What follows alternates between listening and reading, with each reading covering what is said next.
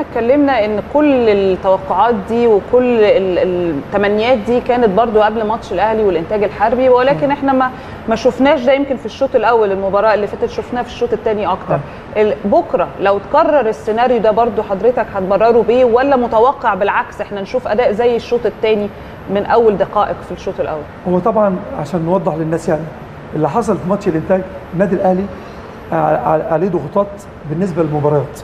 النادي الأهلي لما يلعب 8 مباريات ولا 9 مباريات ولا 10 مباريات في خلال 28 يوم فده حمل عليك ضغط وعليك كمان فكرة إن ست لعيبة بيشاركوا مع المنتخب الأولمبي. وعليك آه. حاجات آه يعني عشان أوضح للناس عشان برضو الأداء أو الشكل العام بتاع النادي الأهلي سواء جماهير الأهلي ما شاء الله عندها ثقافة ووعي ومركزة جدا مع الفرقة وعارفين الظروف والسيناريو بتاع المباريات فالضغوطات دي كلها مع نقص العددي في لعيبة مميزة جدا جدا انضموا للمنتخب الأولمبي أكيد بيفرقوا مع النادي الأهلي. مع ضغط المباريات فلما يبقى في load على النادي الأهلي وفي الضغوطات دي كلها فكويس إن اللعيبة بتقدر تتلاشى دي وكويس المدير الفني بيتعامل بخبرة كبيرة و- وبرضه بي- بيعمل عملية ال rotation وبيقدر يعالج الحاجات اللي بتحصل.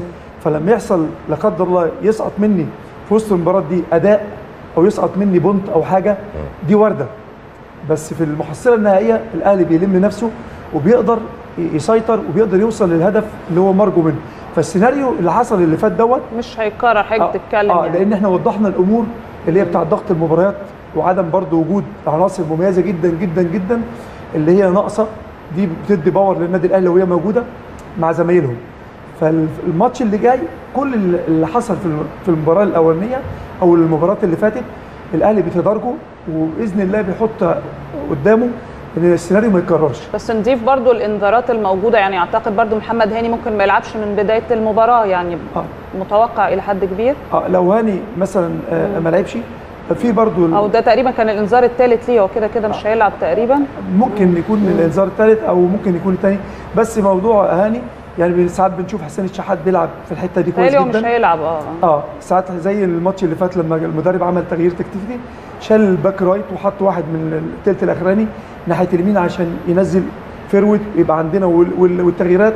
نتجت ان إحنا أحرزنا الهدف بتاع بواليا ويبقى في شكل. فأي غيابات أو لو حد هاني مش موجود ممكن رامي ربيعة مثلا يحل هو. رامي فعلا هيحل آه رامي المفروض، آه. أي حد من اللي هم بتوع خط الظهر الحمد لله لعيبة الأهلي عندها مرونة تكتيكية وعندهم برضو آه، آه، آه، فنيات في الملعب إن يقدر يتحط في أي مركز وبالذات خط الظهر ال third back ممكن يلعب على الطرف يلعب back right يلعب back left.